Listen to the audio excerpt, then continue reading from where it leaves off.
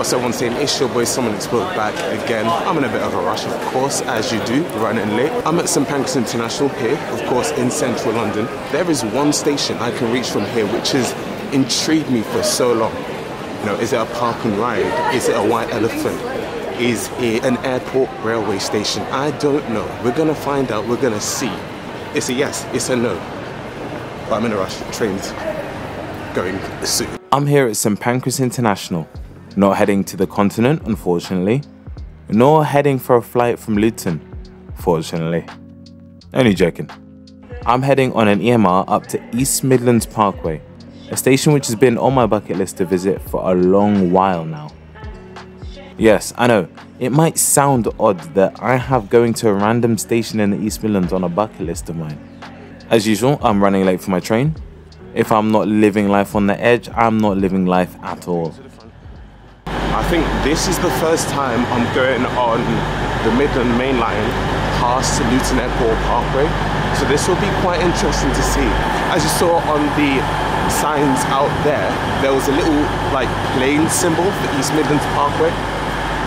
We'll discuss all of that once we get down there. But first I need to get on this train find my seat and open my can of San Pellegrino.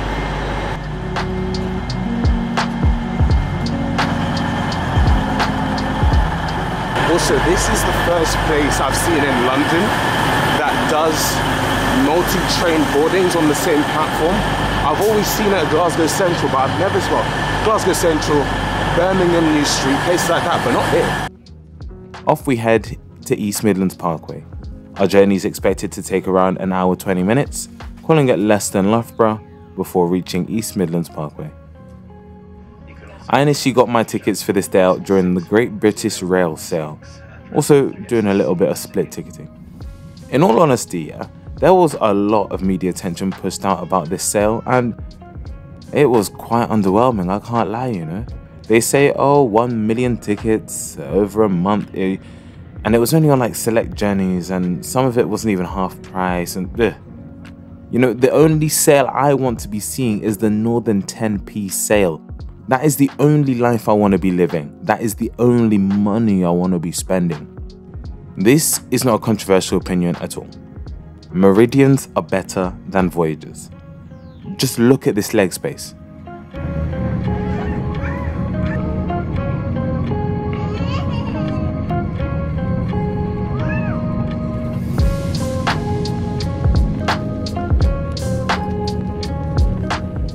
Folks, for such a busy mainline route, why is the Midland Main Line not fully electrified? It's an absolute crime. Back in the 60s, you were able to get a train from St Pancras to St Enoch in Glasgow via the Settle Carlisle line.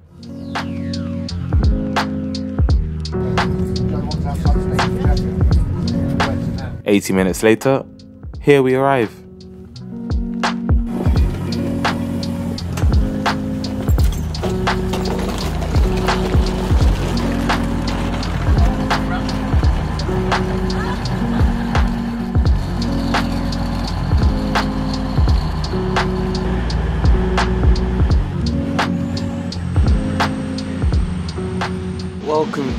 East Midlands Parkway. It is very sunny.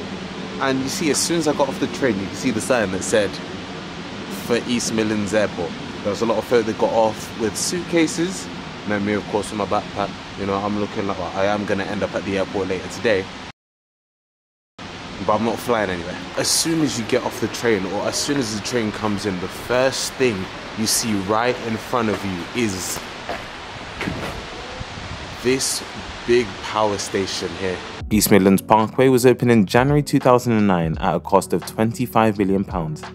A brand new station, it was plonked on the Midland Main Line strategically located between Nottingham, Derby and Loughborough, also not being too far from East Midlands Airport and Donington Park Race Circuit. The only nearby location of interest is the massive Ratcliffe on Soar coal power station, which is due to be decommissioned and closed in September 2024. The station has four platforms, two for fast intercity services and two for slower local services.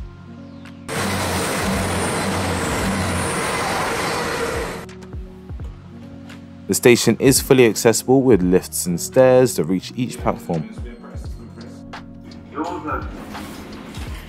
The station building is adequately stacked too. It's staffed. Ooh. Has toilet facilities, departure boards, ticket machines, a first class lounge, space for a cafe, which wasn't open at this time, and a small indoor waiting room. Oh, and there's an 885 space car park outside. The station is only served by East Midlands Railway, with intercity services down to London and up to Nottingham, Sheffield, and Derby. Local services run between Leicester and Lincoln via Nottingham, with some services heading to Grimsby. Now, this station intrigues me. What is this station for? What is its purpose? Why is it here? Is it a white elephant? Some people think yes, some people think no. Let's discuss.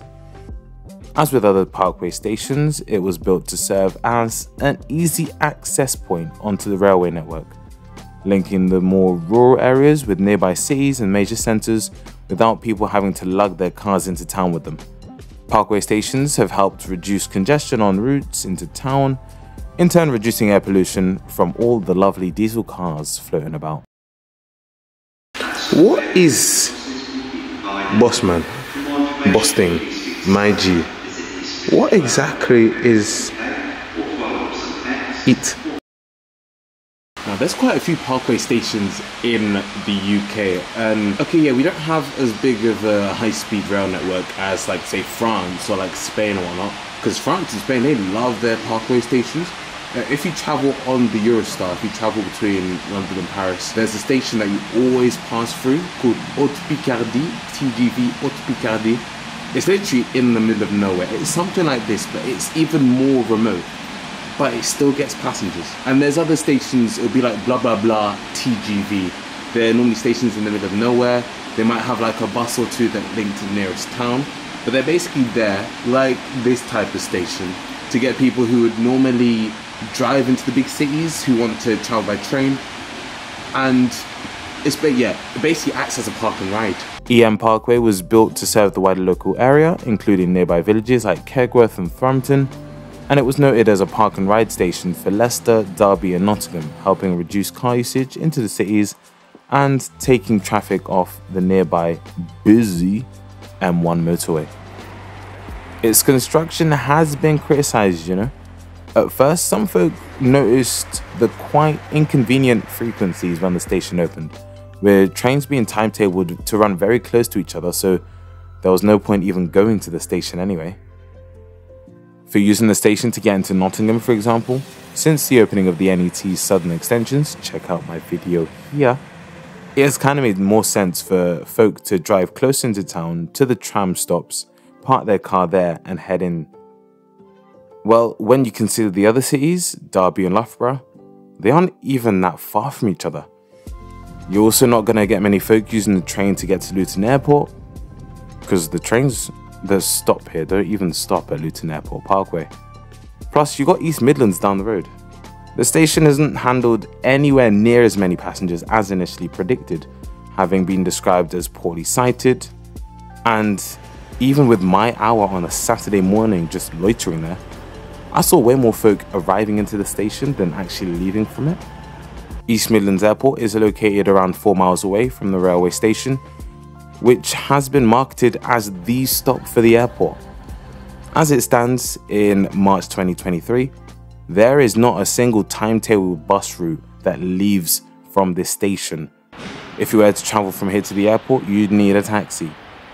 Most folk using EMA would be travelling from the three East Midlands cities using the Skylink bus, which is the easiest and the fastest way to and from the airport.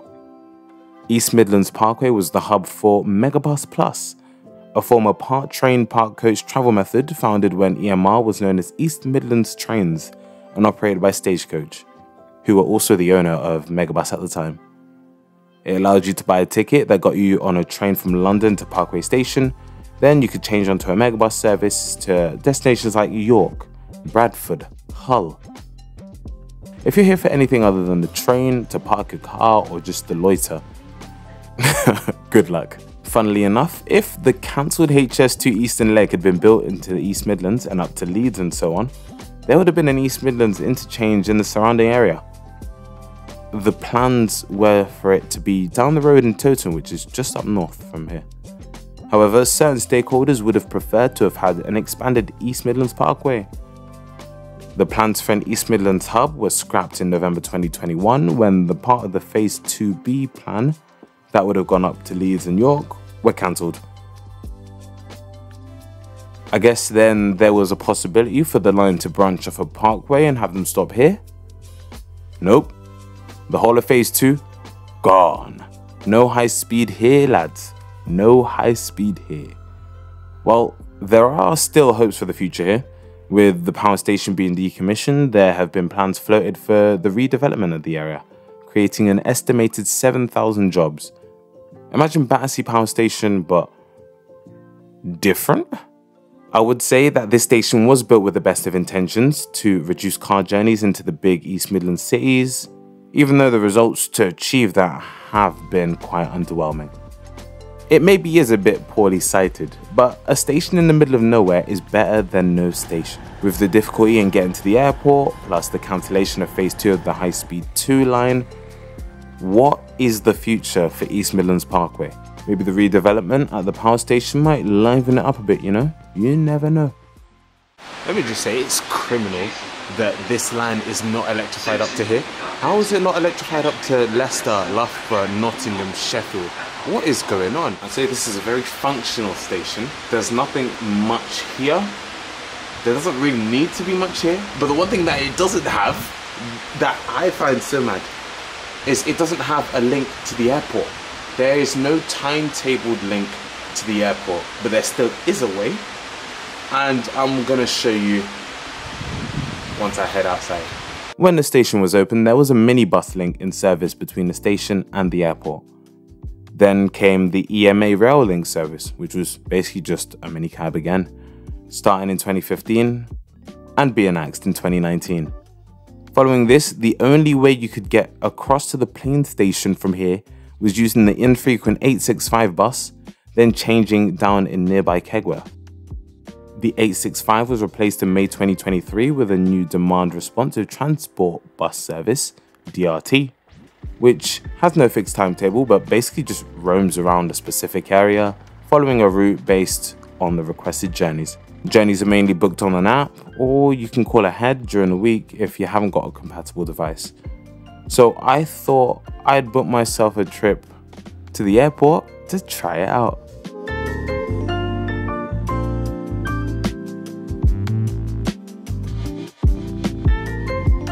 This is when I realized I was screwed.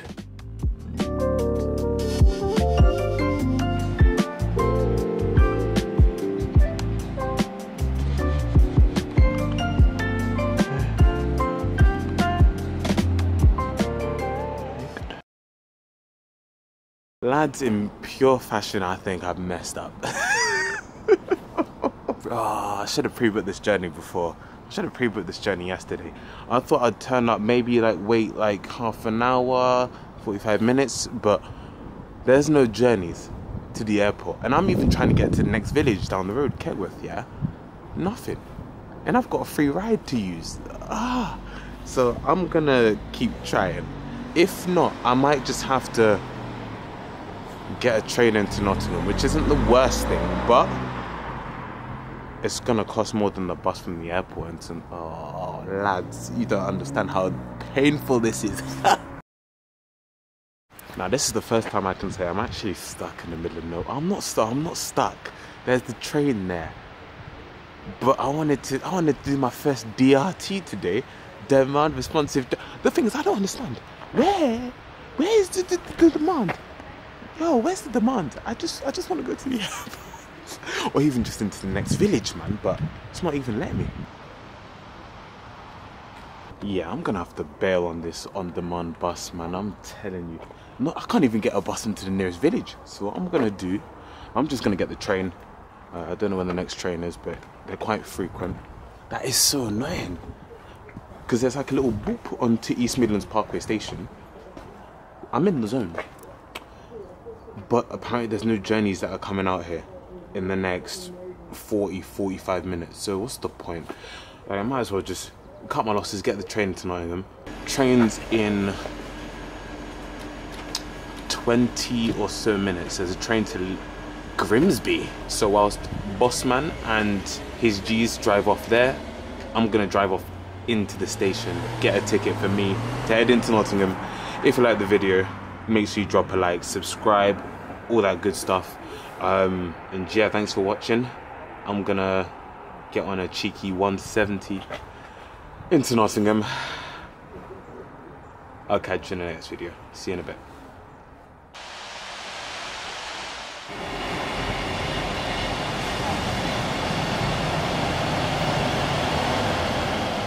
Welcome aboard this East Midlands Railway service to Wilmington. The next station is Attenborough.